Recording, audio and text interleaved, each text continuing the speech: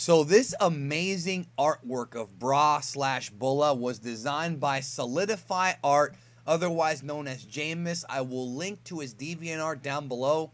And special thanks to Redy for restructuring it into a thumbnail. I appreciate it very much. Let's get to the discussion.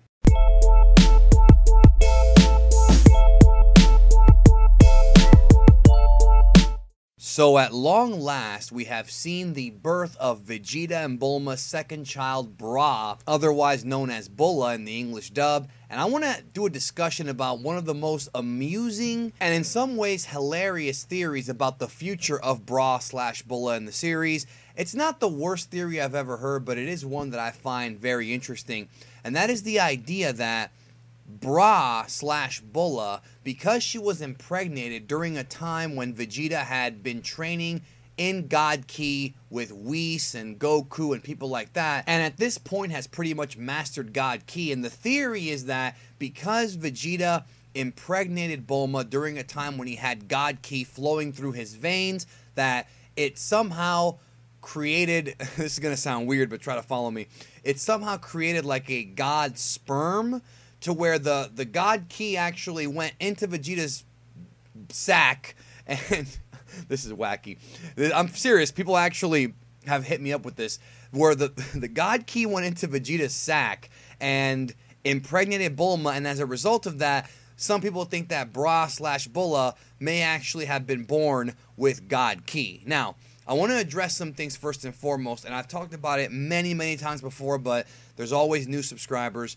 Bra slash Bulla is in the manga and in Dragon Ball Z. She is not a GT exclusive character. Now, with that being said, I want to remind everybody that the Dragon Ball Super continuity, the Dragon Ball Super series of events, just cannot correlate with Dragon Ball GT with the way the series is progressing right now. Dragon Ball Super and Dragon Ball GT just cannot fit in the same continuity. So, the best thing to do when it comes to Bra's character is to just forget that GT ever happened when discussing the future of her character in this topic, which I know is pretty easy for a lot of you guys. So, hypothetically speaking, people are saying that should Dragon Ball Super go past the end of Z, and Pan and Bra become the focus, again, that's a huge if because there's no indication of this happening as of the recording of this video that it could be possible that they're going to be really powerful prodigies. I mean, we've seen Pan flying as a baby and doing all kinds of crazy feats. It's not that crazy to think about,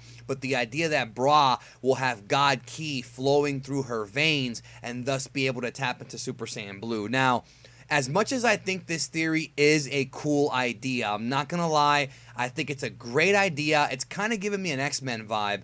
The problem is that this theory has really no evidence to support it whatsoever. This theory is actually a takeoff of an old theory from way back in Dragon Ball Z, where a lot of fans thought that the reason why Goten and Trunks were able to unlock the regular Super Saiyan forms at such a young age is because of the fact that their fathers, when they had impregnated their wives, Goku and Vegeta, they had already achieved the Super Saiyan form. Now, understand, I'm not saying that they, when they impregnated their wives, that they were in their transformed state, because I imagine that could be a little bit dangerous. But uh, the fact that they already had the power inside of them, it transferred over, you know, like a like a gene thing, like a DNA thing, into Goten and Trunks. That's always been a fun theory, but again, there's no guidebook, there is no interview, there is no article. There's absolutely nothing in anything, whether it be the manga or the anime, that states this. It's a 100% fan made theory.